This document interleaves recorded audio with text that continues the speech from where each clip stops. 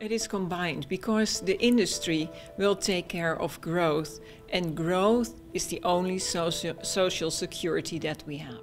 European industry can only be competitive if we have an advantage in the world, a, techno a technological advantage, and this goes uh, together with high-skilled workers, high-skilled, best educated workers and good technology. Think we just need to consider what we mean by, by regulation. And I think before perhaps just addressing the question, I would ask is regulation absolutely necessary? And to a degree, of course it is. But I think, therefore, let's look at regulation. Let's look at regulation that we need, smart regulation, and not start from the starting point that regulation is, is an aim or a good in itself. Right, briefly, therefore, to the point of regulation, I would say unless that regulation is aimed at generating growth, jobs and investment and overall wealth creation, then it is not serving our, our EU well.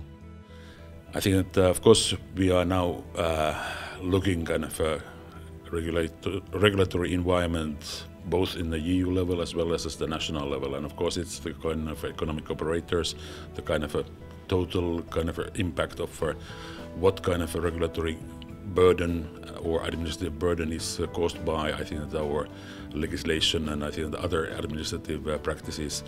And I think that's where we are looking now uh, from kind of different sectors and then trying to identify where are the the most burdensome pieces of legislation. We have done that uh, for SME perspective, and we are doing that from sector by sector, and then trying to identify that where we could ease or let's say modernize the way that we are regulating kind of business and environment. It should be much leaner and smarter.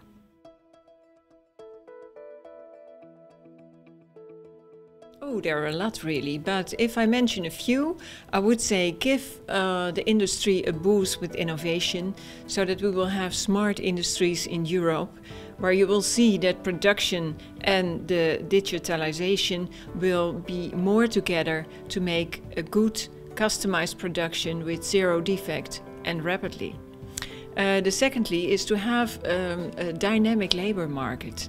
We have a, a tremendous shortage of uh, people who are, are, very well educated, and I think we have to deal with that very quickly because uh, of the uh, demographic changes.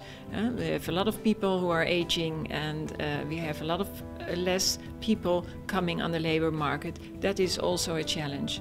And last but not least, we should have smart regulation, less regulation and smarter, so that it will help the industry flourish and then Europe will flourish.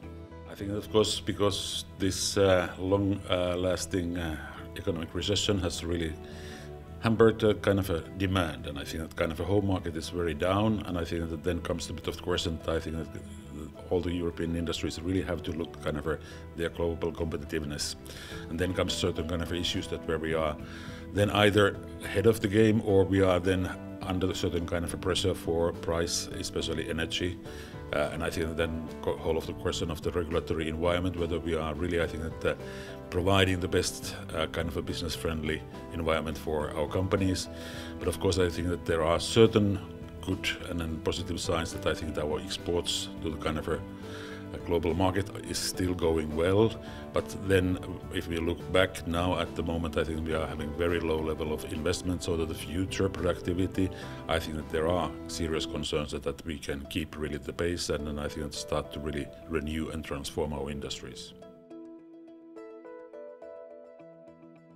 We have to bring together all political fields to make a coherent policy for our economy, for our uh, industry. We need to support innovation, we need to support um, education systems and uh, to improve skills of people working in European industry to be advanced. And the European Parliament did in the last term a report how European industry can brought forward it for future with innovation, with best skilled workers, uh, and the social dialogue is very important for that. Like the current UK's manufacturing success, I think, came out firstly of what was a very bad recession for the UK and indeed other European countries. But I think there was a, out of this relative tragedy, there was a realization that Britain needed to reinvest in its manufacturing base, in its technology, in investment, and of course in terms of what we call net trade, driven by exports. And that was, if I may say so, a positive coming out of the bad effects of the recession. And and I think that re emergence, that rebirth of British manufacturing is welcome.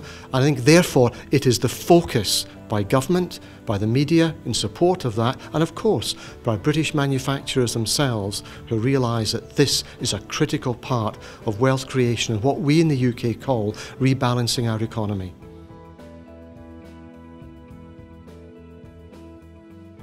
Yes, I think the problems are very easy to recognise because in Australia we have very similar problems. Uh, we're dealing with a sluggish economy coming out of the GFC, just like Europe. We're dealing with the need to be internationally competitive. And of course, we're trying to transition some of our manufacturing industries from more commodity products into more sophisticated products.